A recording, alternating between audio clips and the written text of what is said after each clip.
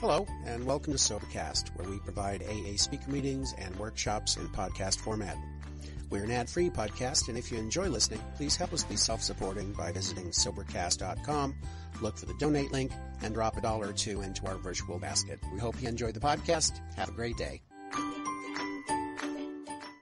My name's Bob. I am alcoholic. I'm sober only through the grace of a God that I was afraid to believe in.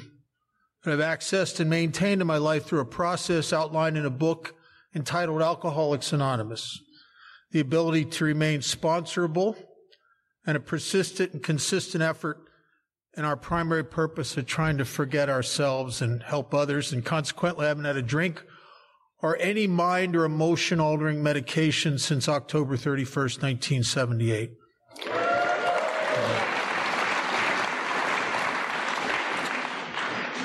Sometimes when I say that, I'm startled. I mean, it's like, um, I want to thank Mark, uh, wherever, he, wherever he went. Oh, there he is. I wanted for picking me up at the airport and hosting me. And, uh, I got a couple members of my home group here, Hunter and Tiffany. They're from here from my home group and they know everybody I know. And so all the really good stories of how wonderful I am in Las Vegas have been destroyed now that they're here. And um, I want to welcome the newcomers, especially Mike. Mike, less than 24 hours. Man, wow.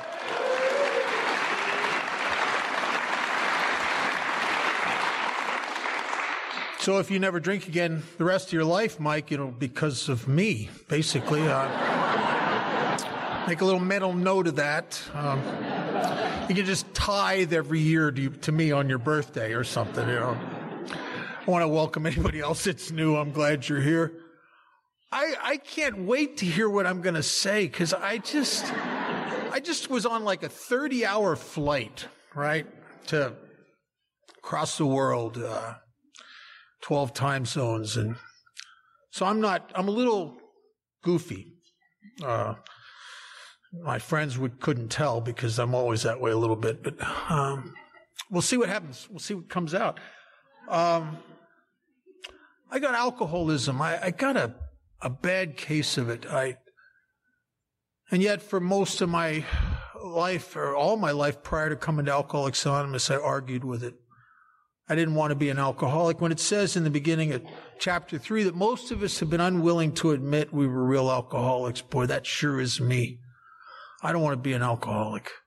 I'll be anything rather than an alcoholic. I'll, I'm willing to be a drug addict. There's a little panache in drug addiction. I mean, there was rock stars that I looked up to and were heroes of mine that were admitted drug addicts. I mean, that's kind of cool. I'll be a drug addict. I'll be a mental health case because if you're a mental health case, you get pills and sympathy. I like both of them. I'm good with that. But I don't want to be an alcoholic because alcoholics are pathetic and obnoxious and I don't want to be an alcoholic and but I got alcoholism and people who argue with the truth get sick. And I argued with that truth and I argued with who and what I was for years. And as it says in our book, uh, through every form of exper- self-deception and experimentation, we try to prove ourselves exceptions to the rule, not alcoholic, because I don't want to be an alcoholic, but I, I got alcoholism. And I've had it, I, I, I don't know if I had it before I picked up my first drink. I know I was a little weird before I picked up my first drink. And I, when I found alcohol, my weirdness seemed to go away temporarily. I, I, all those feelings I had of not fitting and this awkward inability to, to connect with people the way I watched other people connecting with each other. I couldn't do that. First time I ever got drunk, man, I could, I, I could come out and play.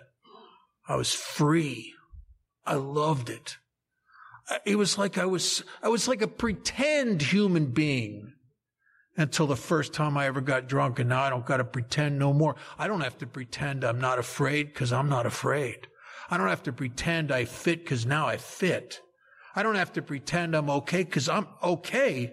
I'm super normal. I mean, I went from being the kid with, hanging out with the older kids, the tough kids that didn't fit, man, always coming from behind to, after about five or six drinks, I, I was their leader. I mean, I just knew it. You know, I'm, I mean, I loved it. I loved alcohol. I loved the effect produced by it. I, it, it allowed me to, to, to play in a band and sing. It allowed me to dance and go to d- pick up girls and talk to girls. I couldn't talk to girls. Man, I'll tell you, if it wasn't for alcohol, I'd probably be celibate to this day. I mean, I could, I, I couldn't, I just, I was too locked up, man, too locked up with fear and insecurity. But alcohol set me free. And I loved it. Well, I got alcoholism. I don't know I have alcoholism, but I do. And what, what that means is I got that definitive characteristic that when I start to drink and the effect of the alcohol, I start to feel that feeling, I just break out in an irresistible yearning for more. Man, I'm just, and I, and, and my more takes a lot of different forms. I'm the guy, if I was at your house and we're drinking and all of a sudden it's gone and there's no more, you know what I'm going to do? I'm going to either go leave and go get some more, or I might go into your bathroom and go through your medicine cabinet and just take whatever's there. Half the time, I don't even know what I'm taking. I'd like to read the labels. If it says do not operate heavy machinery, this could be good. if it says, if it says may cause sleeplessness. That could be good in a different way. Uh, and I just took stuff out of medicine cabinets because I, because once I've lit the fuse by drinking, I gotta, I can't, I can't get satisfied. And I, I, man, sometimes I'd, I'd get pills out of people's medicine cabinets, turn my legs to rubber. I'd just be falling around. And uh, one time I took some stuff out of there. I was, I was up for about a day and a half. I was going to change the world. I got this plan. We're going to change the government and everything else. And it was amazing. And one time I got just really very regular. Um, I ate all the pills off a wheel. And I found out later there's no chance I'll be pregnant in my lifetime. and why do I do that? Is it because I'm a pillhead? No, it's because I got alcoholism. And when I light that fuse, man, I can't put it out. And it's always been true, and yet I couldn't see it.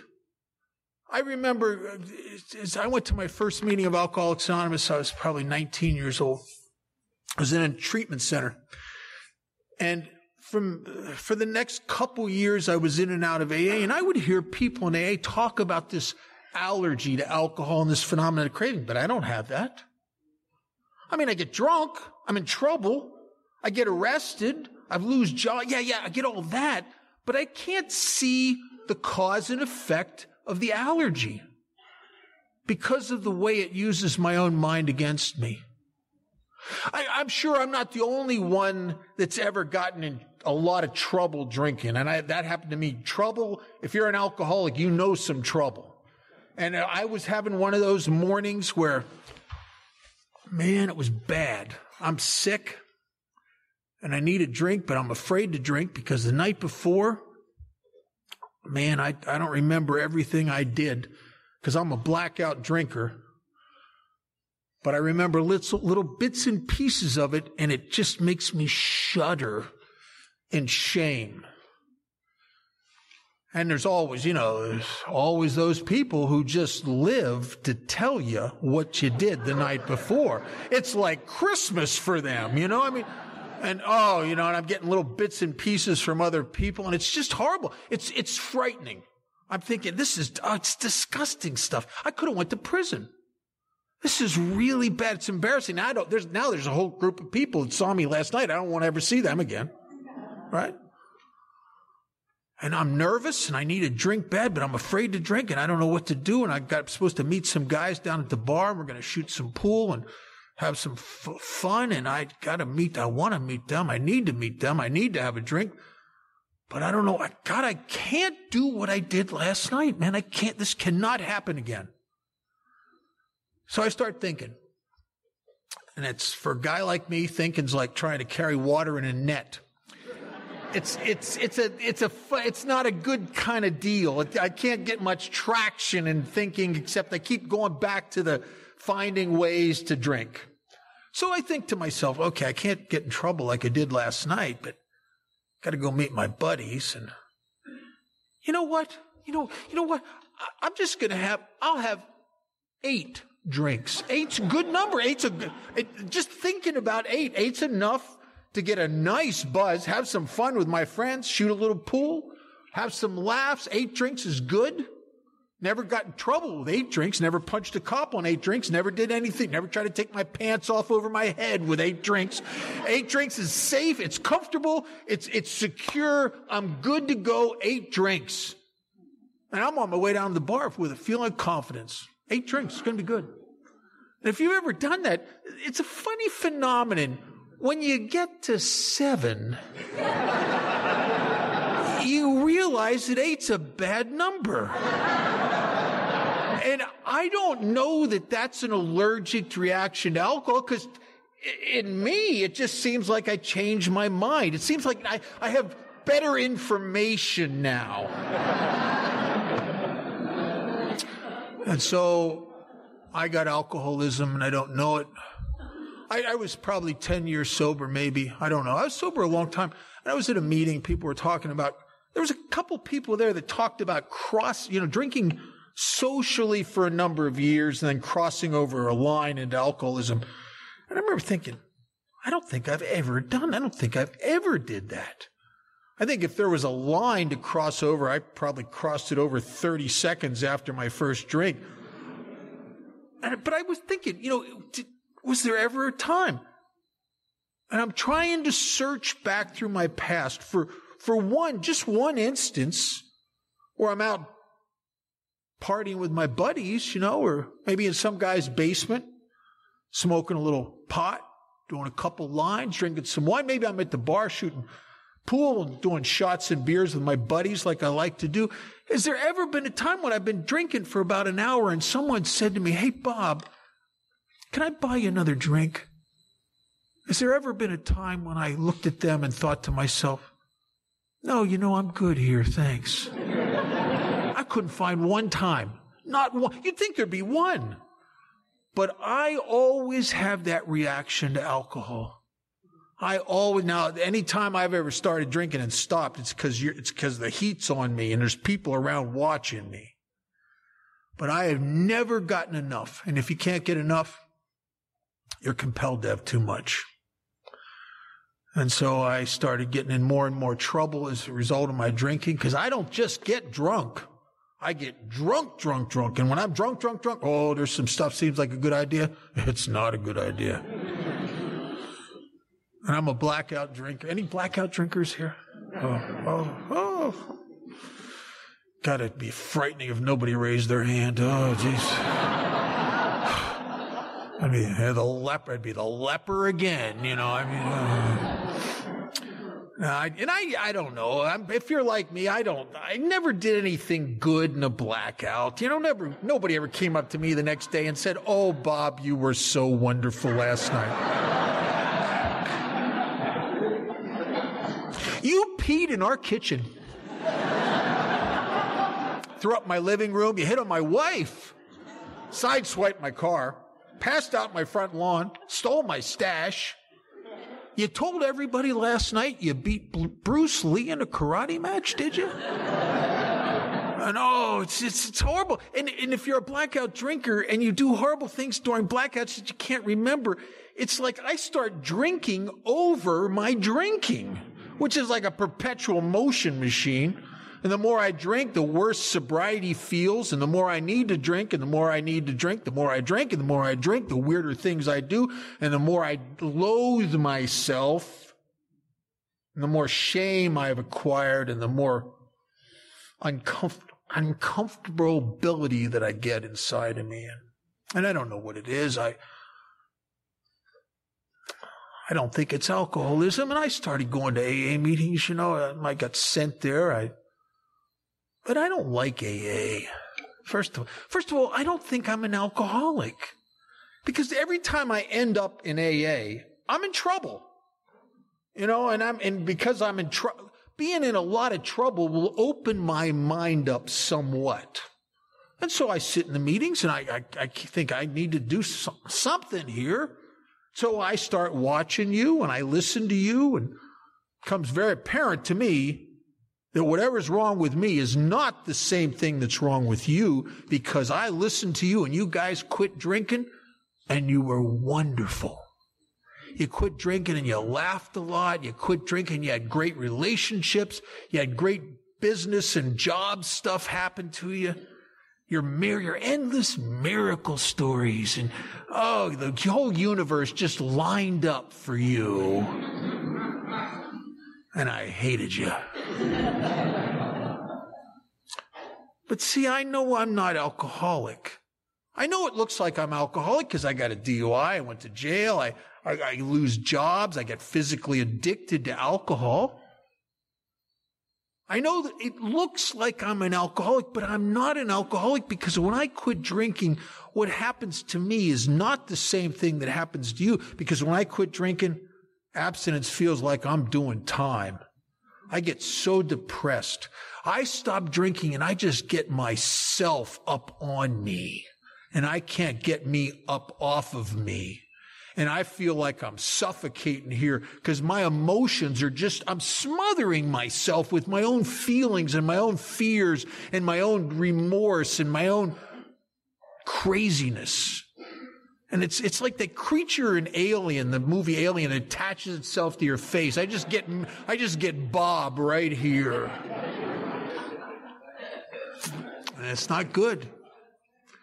And it's not, and I don't fit anywhere sober. I don't, I don't know how to, I don't know how to come out. I don't know how to play with people sober. One of the symptoms of my, of abstinence for me is all, you take alcohol out of, away from me and you don't give me any substitutes. I become very serious. Life is a big deal and there's nothing funny in life and it's heavy and, and I, I'd be sober for little intermittent periods of time. You ever go, you ever been sober with untreated alcoholism go someplace like a mall? You watch, you just look at people. They're just walking around happy for no reason. They're just happy. And you know why they're happy?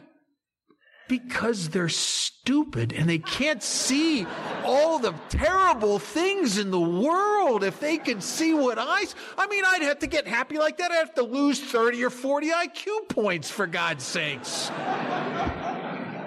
they just don't get it. Because if they, if they saw what I saw, they would not be happy. And I don't understand what's going on with me. And Silkworth in the doctor's opinion, describes guys like me pretty well. He says, We're quit drinking and you're restless, can't get settled anywhere. I live in a world where everybody settles in and seems to be comfortable, and then there's me. Um, you ever watch a dog circle a living room trying to find its spot to lay down? I'm a dog that can't find its spot. I'm irritable, but I don't know I'm irritable, and I don't want to be irritable because irritable people irritate me. I am not irritable. But what I am is a guy who can so clearly see how stupid everybody is. It's a gift, I guess. I don't know. Everywhere I look, I see stupid people. I see stupid people in traffic. Oh my God, there's stupid people in traffic. Go to the grocery store. Stupid people in the grocery store. Do you ever watch what people buy? a gallon of ice cream and a six pack of Diet Coke. There's some stupid people in the grocery stores. stupid people at work. And I go, I can't hold a job long because I can't suffer stupid people. I mean, they're not, they seem, they don't seem that stupid when they hire me. But I'll tell you, it doesn't take long. Uh, and then, oh, you know, and then I'm intermittently forced to go to A meetings where they have all the stupid people grouped in Alcoholics Anonymous. Oh my God, A was intellectually offensive to me. Oh, this happy, clappy stuff. Oh God, it was horrible. And everybody in AA is grateful for everything. Oh my God. I was sitting in a halfway house. I just burnt my life to the ground again. And I got to sit there and listen to this endless procession of members of AA tell me how wonderful their life is. I remember thinking, this is hell. It's not just that you ruin your life and you've destroyed everything worthwhile. You have to have your face rubbed in how wonderful other people are while you're, while you're, while you've lost everything. Oh, God. People they love, they love everybody. Hey, you throw that love word around like, geez, stop it. You ever, you ever been sick? newly sober, depressed, feeling horrible, and have somebody in A come up to you and say, has anyone told you they love you today? Oh, oh, where's the door? Where's the door? Because I don't know what the answer is to that, but you know a hug's coming, and I don't want nobody touching me, man. I don't want nobody touching me. It's creepy. Ooh. Everybody in A talks, they talk about God all the time. I'm an atheist. I kinda. I, I want to be an atheist. I'd like to be an atheist, so I'm not really an atheist. I've known some real atheists. You have to be very religious about your atheism to be a good atheist. I can't get that much angst. What I really truly am is I'm a guy who's, a, I'm an anti-religionist. I hate religious people. And I'm afraid of God. And that goes to the core of who I am that if there was a God, and I'm, and I'm trying to take the position there's not, but if there was a God, I know something. I know he's not going to help a guy like me because I did some stuff. I did some shameful, horrible stuff. I really hurt some people that were really good people. I know what I am. And if there is a God, I ain't one of his guys. I know that. Yeah, I don't care what any preacher says. I don't care what it says in a book. I don't care what anybody says. I know that in the core of who I am that I don't deserve that. And I ain't good enough for that. And so I'm the guy, if I just suspect you don't like me, I'm going to not like you first. and so I throw God out because of how I feel about myself and I made it their fault. I made it the church's fault. I made it, I made it everybody else's fault. But it was really me. You know, I've always been the source of all my separation and conflict. Even though I have a mind that puts it on people out here, it's really always me. And so I, you guys talk about God and it's like, oh no, jeez. And so I don't do anything you do here.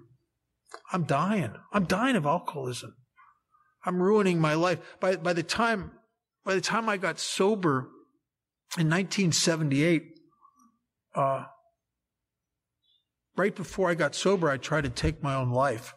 And I tried to take my own life because there was a hopelessness. I'd finally became an alcoholic of the hopeless variety.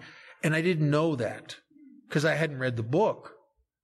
But I'd lost all hope. And the worst thing that, the, the one hope that was so important to me, and when it was gone, there was nothing to live for. And that was the hope that somehow, someday, some way, I'm going to control and enjoy that drinking thing like I used to that somehow, that as long as I had hope that there was a party that I could jumpstart and get back to that feeling of freedom that I'd had at one time, as long as I had that hope, I was okay.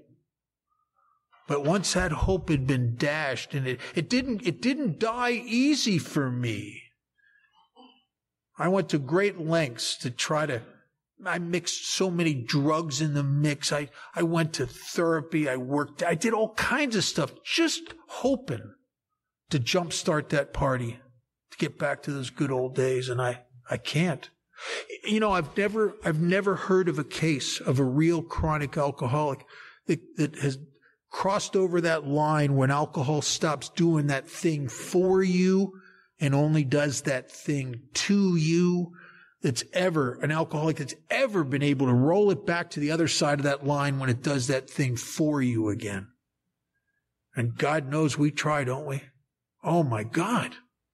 I think, I think not, you know, and I, when I came to Alcoholics Anonymous, I, I introduced myself as a drug addict. And then it was a drug addict and an alcoholic. And, you know, some guy said to me, I said, I, I was introducing myself as a, as an addict and an alcoholic. And a guy said, Oh, you're new. I said, No, I, I got, I got two and a half months. I'm not new. He said, No, we know you're new because only, only new people say that because they don't know any better. I said, no, I think there's a lot of, most of us are like that. He said, no, listen, let's find, find people. How many people are you going to find with over five years that introduce themselves like that? And I couldn't find anybody. So I never introduced myself like that again because I don't want anybody to think I'm new. Isn't it funny? When I was 18 years old, I wanted everybody to think I was 25 when I was 40 years old, I wanted everybody to think I was 25. I never want to be who I am. I always want to be more than what I am or less than what I, am, but I don't want to be who I am. And so I, I didn't want any identifiers that I was new because I wanted to, I wanted to look like an old head here. So I stopped saying that. And, and the truth is, I'm not two things. I did a lot of drugs. Sure. I did a lot of drugs for the same reason that Dr. Bob did a lot of drugs. He did, according to his story, he did high powered sedatives every day of his life for 17 years. He did not drink every day. He drank, he was a periodic. But Bob wasn't a pillhead. He was an alcoholic because every time he drank, the exact same thing happened to Bob that happened to Bob. He couldn't stop. I mean, for God's sakes, the day Bill Wilson called up Anne Smith and wanted to come and see Bob, he couldn't see Bob because he was taking a nap under the dining room table. You gotta like a guy like that because I'm a napper. I'll nap all kinds of places. I just, I nap anywhere. I nap in booths. I nap in, I'll nap on your front yard, front lawn, man. I just, I'm a napper.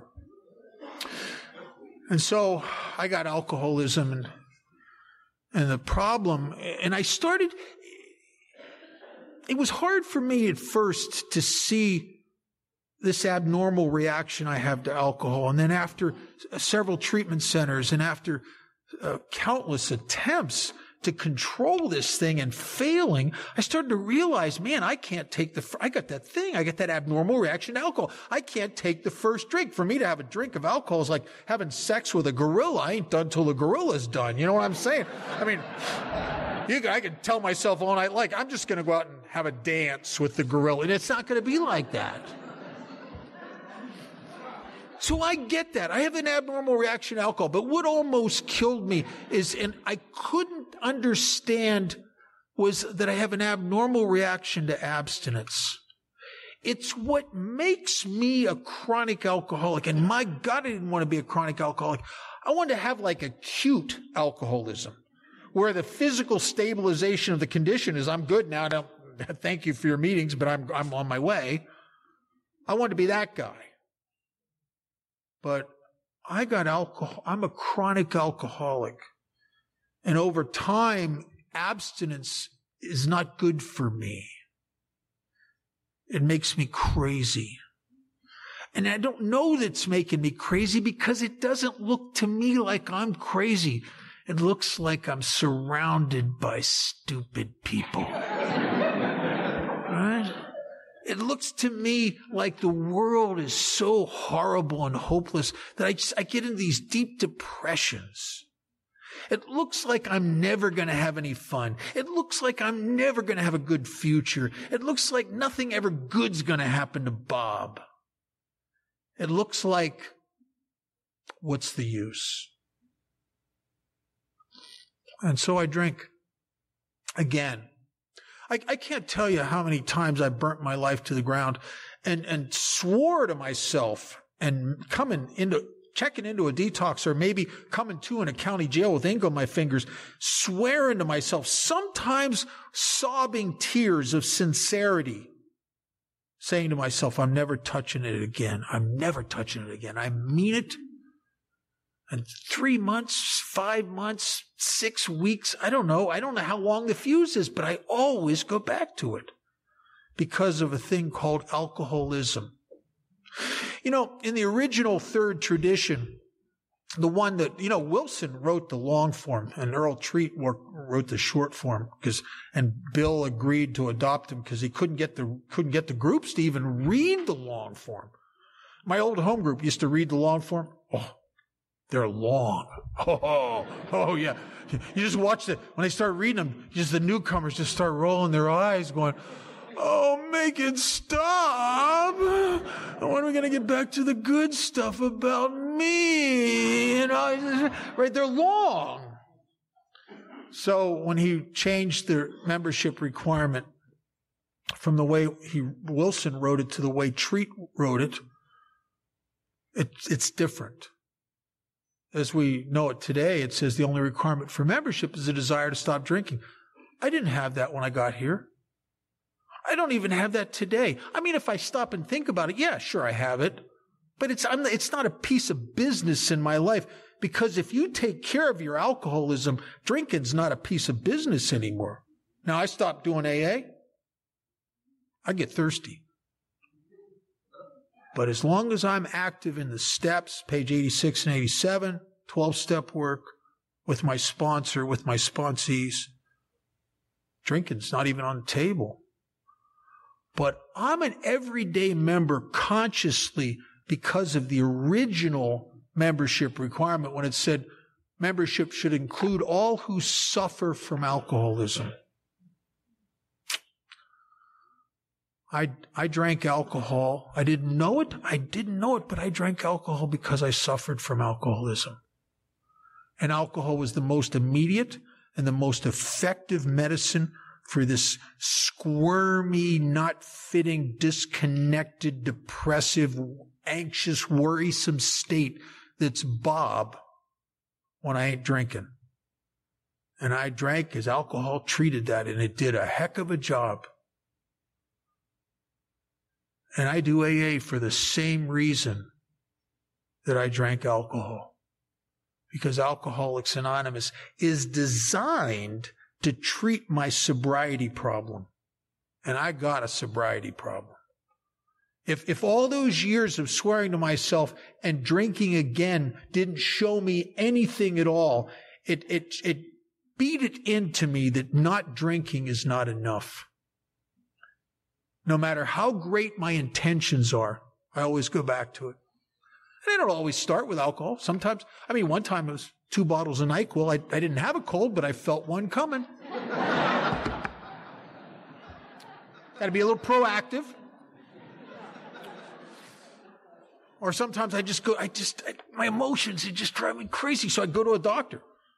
You know, alcoholism is a funny thing. If you were to catch me, now I'm sober over 39 years, you catch me on a bad spiritual hair day when I ain't right, and we all get those days. I don't get those days that much anymore, but we all get them from time to time. You catch me on one of those days and stick me in a psychiatrist's office and get me to honestly tell him how I feel, he's going to start writing me some stuff. you can bet on that. But I come to Alcoholics Anonymous, so I don't need nobody to write me nothing. AA has been the most, it's been the only really truly effective thing. But I had to face something. And this is not true of everybody in AA. I'm a, I'm a spiritually high maintenance alcoholic. And I, it used to drive me crazy because I'm lazy and I would sit in meetings of Alcoholics Anonymous and I would always look for the people who do just about nothing and stay sober. I want to do what they do. Give me a choice of going to one meeting a week just to check in or having a, a horrible dictator type sponsor that's telling me what to do and criticizing me and wanting me to pay back all the money, all the money. I, I wouldn't have stolen all that if I'd have known that. I mean, I mean, no, you know what I mean? I wouldn't have done that if I would have known one day I was going to have to pay it all back. Oh my God and write write those images. Oh, I don't want it. And, and then here's the booby prize of all of this tedious, horrible stuff. You get to spend the rest of your life helping people you don't even like.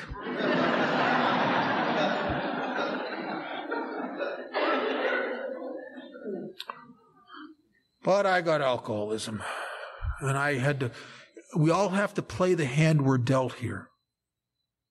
I'm telling you, honest to God, if I could, if, if, if I could just be the guy who went to a meeting once in a while and could stay sober, I would do that. Or if I could be the guy running the people that, that could just not drink and maybe smoke a little pot once in a while and not go back to drinking, I would do that. But I got to, I, there's only one person I got to be honest with about the hand I've been dealt, and that's me. See, if I try, if I try to play your hand, it'll kill me. And I've tried to play, I've tried to play the hands of other people in Alcoholics Anonymous, you know, cause I, I don't, cause I'm a lazy guy and I don't want, and I don't want to be inconvenienced here. and pay back the money. I've never paid back one dime that I didn't know in my heart of hearts that I needed the money more than they did. But I had sponsorship that just directed me to do the right thing in spite of how I felt.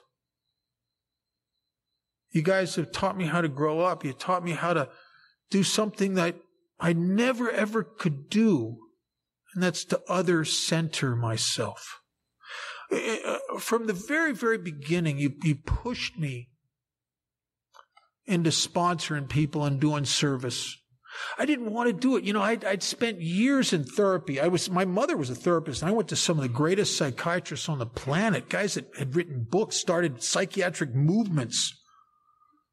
That's funny. The more therapy I did and the more money my family spent, probably a half million dollars on psychiatrists for me and treatment centers. And the more money they spent and the more that I did, the sicker I got the more narcissistically self-involved and self-focused I became. Till I was dying, I was, I was swimming in a cesspool of Bob. And I come into Alcoholics Anonymous, and you guys, from day one, you want me to start helping others. And, and I said to my sponsor, I said, he's hammering me to go on 12 step calls and take meetings into the detox and the jail and all this other crap. And I said, listen, I said, listen, you know, I know what you're saying. But you know, don't don't you think I should work on me for a while? He reared back. He said, Work on you. You've done quite enough of that. Stop it. When he said that, I thought about it. I thought, you know, I have done a lot of that. If I could have been fixed, I think I'd have been fixed by now. I mean, I did every, I primal screamed. I was hypnotized. I, I mean, I, gestalt therapy, transactional analysis, rational emotive therapy with Ellis himself. I mean, I did all kinds of stuff. Because if it came up on the radar and I thought it was going to do something for me, because I'm a do something for me kind of guy, I took a run at it. So when I when I come into Alcoholics Anonymous and you said you guys said no human power, I went, yeah, I know. Yeah, I know. Yeah, I know because I tried. I tried. And if it could, any of that stuff would have fixed me, I wouldn't be here tonight. I'd have been fixed. But I'm not. I have alcoholism. As Chamberlain said one time, it's the burr under the saddle. It's the thing. My alcoholism is the, is the greatest blessing God will ever give one of his kids. The greatest by far. And a blessing is something that pushes you, shoves you, or sometimes drags you screaming into being more than what you were. And my alcoholism is the greatest blessing I've ever had in my life. It keeps me growing along spiritual lines. I have to grow. It's, it's grow or go. I, am an avid scuba diver. I go all over the world diving. I, I just, it's my, one of my passions. That, uh, more than anything today. And those of us that dive a lot, and I'm sure there's divers in this room, you get to know some things about marine biology.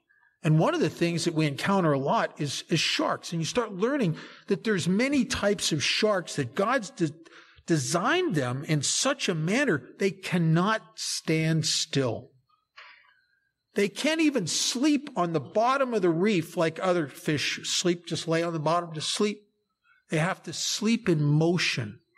They get involuntary tail motion and they go out into the deep blue and they never stop going forward because if they stop, the water stops flowing over their gills and they cannot oxygenate their blood and they will literally suffocate from their lack of forward movement. Me too. Me too.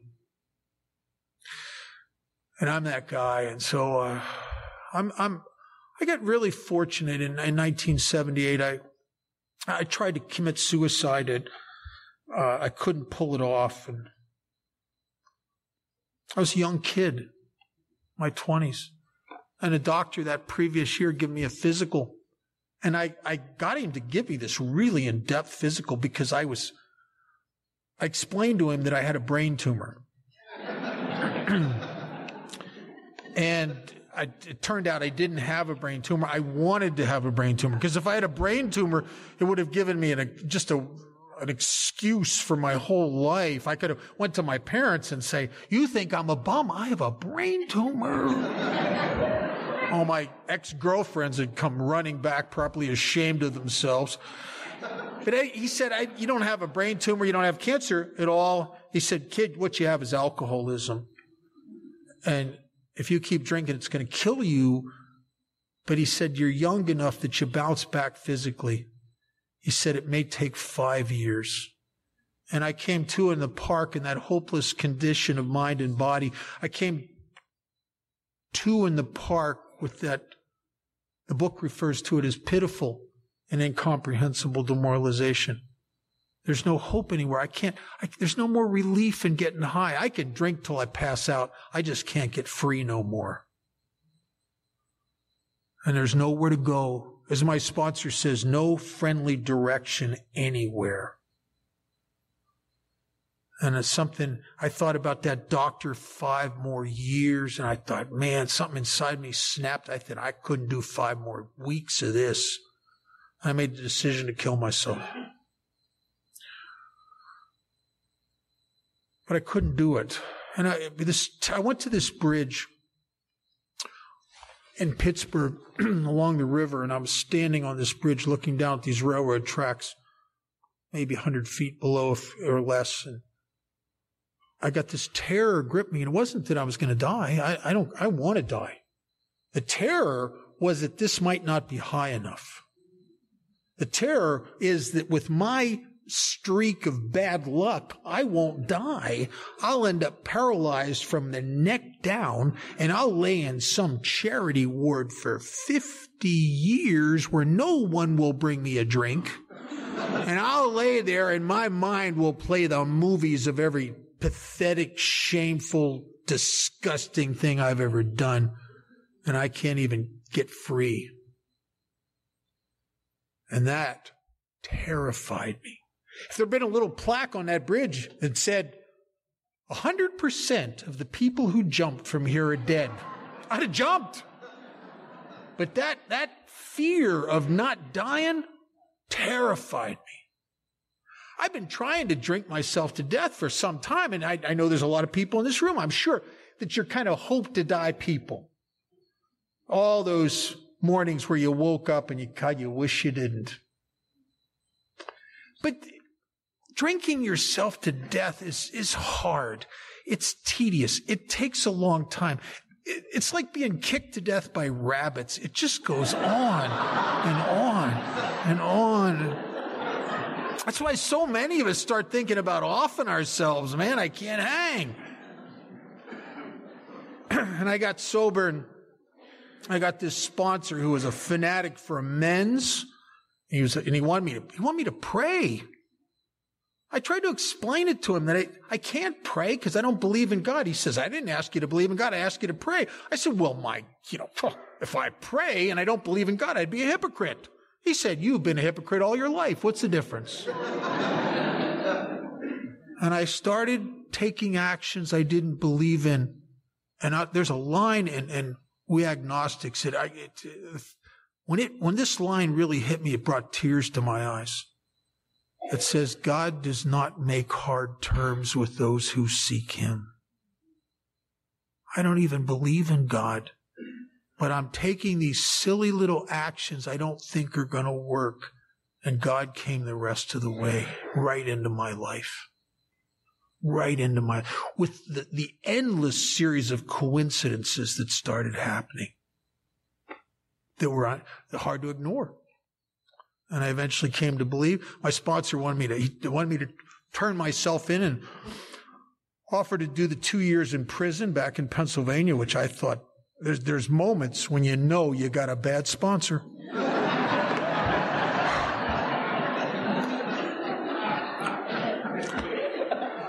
But he convinced me that I'm not going to, I'm not going to stay sober looking over my shoulder.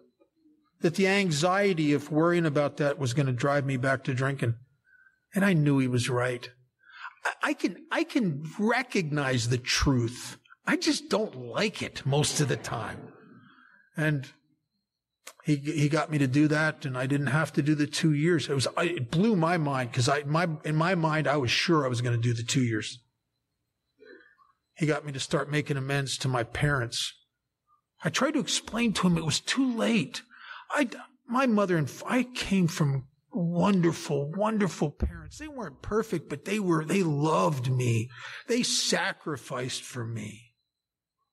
They, they almost bankrupted themselves trying to put me through treatment centers and therapy and bail bondsmen and lawyers. And, you know, it's a funny little sidebar. I have a younger sister who, at one time, I, I was her, like her hero, I guess, and I was her big brother. And then I, I hurt her really badly. And I, I went to her, at, I was sober a little while, and I went to her to make amends. And I was talking in detail of uh, my regrets about how the, some of the horrible things I'd done, the money I'd stolen from her, and the, the, the just the bad stuff I did. Just I was a terrible, terrible brother. And then I tried to I did, I did the thing you're not supposed to do. You never screw up an amends with an excuse or a justification. And I did, and I tried to give it a, I said, I said, well, Marge, I said, I said, the reason I, I guess I, I, I acted like I hated you. It wasn't that I hated you. I was jealous because I knew, I knew mom and dad, you were so good. I knew they loved you a lot more than they loved me. And when I said that to her, she got mad at me. She said, How dare you say that? She said, I couldn't win with them because of you. I'd come home in the, uh, the head, the honor roll, and I'd want to show them my report card, and they'd say, Not now, Marge. We got to go bail your brother out of jail. No matter, she said, no matter what I did, you got all the attention, you got all the money, you got everything. And it blew my mind. I never looked at it that way. And it starts, I start looking at things from the viewpoint of other people in my life. The whole resentment list is about that. It's about looking at these resentments from an entirely different angle. Sponsoring people is what brings that to a higher level. When you start realizing that you've got people in your life that are looking at you as an example of AA. When you wake up to that, I'll tell you, you'll stop texting in the meetings. It's either that or you think everybody should be doing it during the meeting. You'll stop doing things in Alcoholics Anonymous that you don't want other people to do. But selfish, self-centered people, I never see past myself. And I got a million excuses for anything I feel like doing. But when I started waking up to a consciousness that included you and often looked at me through your eyes, the whole game changes here. The whole game changes here. And I started growing up. And I, you guys taught me how to go to work. I, I one of the things that uh, became, that was kind of weird you know, Chuck, I was just talking about Chamberlain told me something. I had a short little five minute, less than 10 minute conversation with Chuck at a time when I was getting ready, ready to quit my ninth job in, in the first four years of my sobriety. That speaks volumes of untreated alcoholism right there. And Chuck told me some things that turned my life around. He told me, he said, kid, He said, what you're getting paid and how much you're appreciated is none of your business. You got to go to work for one reason, and that's to help God's kids. You go to work to be of service, period. And I started getting up in the morning and asking God to help me to do that, to help me to, as it says in the prayer of St. Francis, this thing about self forgetting and go in there to be a servant. And my life took off. And it, it, was so, it was astounding. I started becoming so successful. I ended up running the place I was in. It ran into a, parlayed into a partnership to own my own company and and just expanding and expanding and expanding and but you know i don't i heard a guy say this one time that the, uh, chamberlain actually i heard him say it he said there's there's only one thing worse for an alcoholic than misfortune and that's good fortune I had a guy, as I started to get really kind of well off materially, and a lot of things started happening that were very cool. I had a guy sponsor come up to me one time and he said to me, he said, you know, all this money, property, prestige, aren't you afraid this is going to go to your head? And what came, I don't even think I heard the words I said, but it was, it was the truth came out of my mouth. I said, well, where, where else would it go? That's the nature of an egomaniac with an inferiority complex. I'm always trying to feed the things that should be starved and starve the things that should be fed. By the time I was 19 years sober, I, my 19th year of sobriety, materially, I, I don't can't imagine I would ever have a year where I made that much money again. It, it was it was embarrassing. I, I was running out of things to think about to buy. It was crazy. And in the middle of this this embarrassing, decadent abundance, I started sinking into a terrible, frightening depression, which made no sense to me because I have everything out here that I want. And I don't know what's wrong with me. And it's frightening. And I went to a meeting and I ran into a buddy of mine that I got, he got sober around the same time, a little before me and I'm telling him about this depression. And he said so, he said something, it was bizarre. He said to me, he said, yeah, he said, you know, you run your mouth a lot in AA and sponsor a few people. I think you want the bragging rights of that. You still go to some meetings. He said, but I don't think your primary purpose is helping God's kids anymore. He said, I think your primary purpose is you. You know, they say the truth will set you free. It'll ruin your day first, though, man. Because that, that pierced me, man, because that was exact, it was my toys and my property and me, me, me, me, me, me. I, I somehow incrementally shifted from being a servant whose life was about helping other drunks back to just being the center of the universe again. And I didn't even know that had happened to me. And that's frightening. That's why I will always need a, I got a strong sponsor. I'm telling you. Wait, there's a guy here, there's the same sponsor I have. My sponsor is wonderful. He, he doesn't care how I feel at all.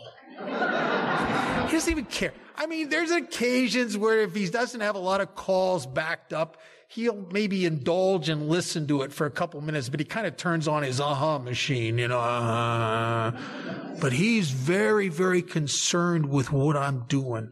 Am I making my commitments? Am I going to my home group? Am I returning the phone calls? How am I acting in AA? Am I acting like someone I could be proud to be an example of? Am I acting like a good example of Alcoholics Anonymous? Or am I acting like a selfish, self-serving guy? When I'm wrong, am I promptly admitting it? You know, we, we grow from being wrong. Nobody grows from being right. Because if that was true, it'd say in our literature somewhere, and when we were right, promptly admitted it. I don't say that. It's when we were wrong. And I grow by, I grow spiritually by my willingness to be wrong because it right sizes me. Because there's only one problem, and Chamberlain used to say it, it contains all problems, and that's conscious and unconscious separation between me and you and me and God. And what's between me and you and God? Me. It's always the problem. I got too much of me between me and you. And I got too much of me between me and God. That's why untreated alcoholism is such a lonely, lonely business in this, as Wilson calls it, a state of anxious apartness, where it's all of you and then there's me. And I'm anxious to connect with you and I can't do it. And that is the problem. And so this, I grow, have grown here not by learning stuff. I grow here by self reduction. I grow here by shrinking, Bob. You want to get closer to God? Shrink you. Get smaller. And as I get smaller, I get closer to God and I get closer to you. If I'm not, a, if I'm not all of that in a bag of chips, I don't have problems with you right? If I'm not all of that in a bag of chips, I don't have problems with God because I'm just trying to be a servant. I'm trying to help his kids. But when I fill up with me, and I do, you know, my nature, my basic nature is like I'm the back of a toilet tank. I can work the steps and it like flushes it out and just empties out. I just automatically just start filling up with me again.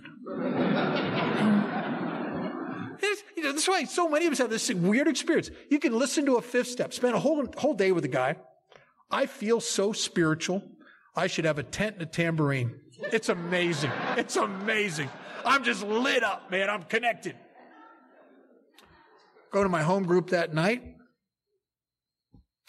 And there's somebody who didn't hear the cell phone turn off announcement. And that guy had four cups of coffee and didn't put any money in the basket. Oh my God, she's walking around in the meeting, doesn't she, everybody's seen her new set. Why don't she sit down? And what happens is I start playing God. That's one of the th- first things. Says, first of all, we had to quit playing God. I don't know I'm doing that but I climb up under the throne of judgment. And I start, you can measure my distance from people. You can measure my distance from surrender, from the decision in step three, and from God by the amount of opinions and judgments in my life. Oh my God. What would it, what would I, I would, if I could just live the 10th tradition and have no opinions? Oh my God.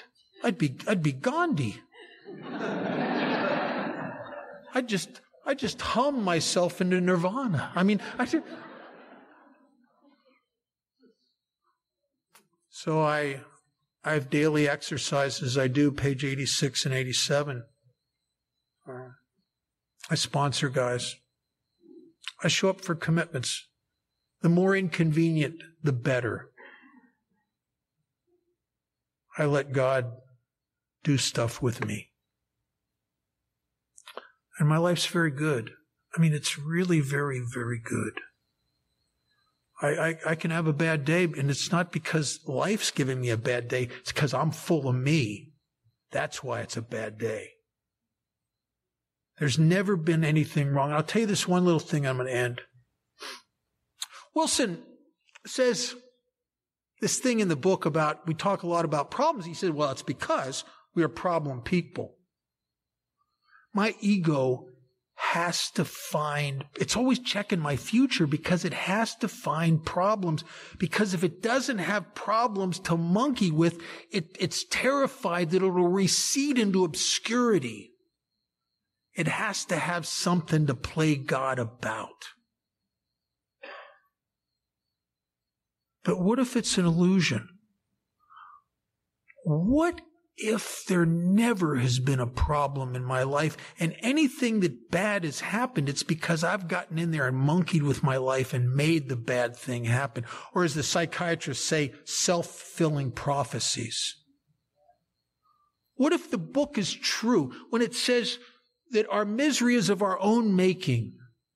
What if what Dr. Paul said was true? That if you leave your problems alone and you go out and help God's kids, your problems will die of neglect. What if they're never, what if I've always been in the Garden of Eden and I just didn't know it? Because I got a mind that keeps blemishing life. What if this is paradise and I'm just the only one that doesn't know it? I had a friend uh, who was a pilot. He told me a story years ago about he was in this small plane and he hit a wind shear and it spun him out of control into a tailspin. So it was the most frightening thing he'd ever experienced. He said every instinct in him was to pull back on that rudder, but he knew that if he did that, he would crash and die for sure. That what he must do was completely against all his emotions. He had to push the, the stick forward and let it bounce back on its own and let go. And that plane was created by its creator to right itself. What if my life is really like that? But you don't get to know it until you trust God enough to take your hands off of it. What if this really is the Garden of Eden? It has been for me. And if you're new, welcome to Alcoholics Anonymous.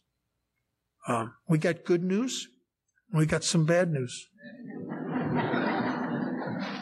The good news is this really is an effective treatment. If you put all your chips in the pot, completely give yourself to this simple program, Alcoholics Anonymous is an effective treatment for everything that's been wrong with you inside you that drove you to alcohol and drugs.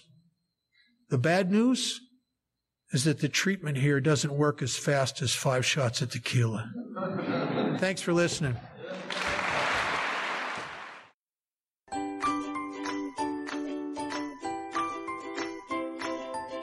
Thanks for listening. I hope you enjoyed the podcast. Sobercast is ad free, and we'd like your help in order to keep it that way. So if you'd like to help us be self supporting by pledging a dollar to a month, visit Sobercast.com and look for the donate links. Thank you very much.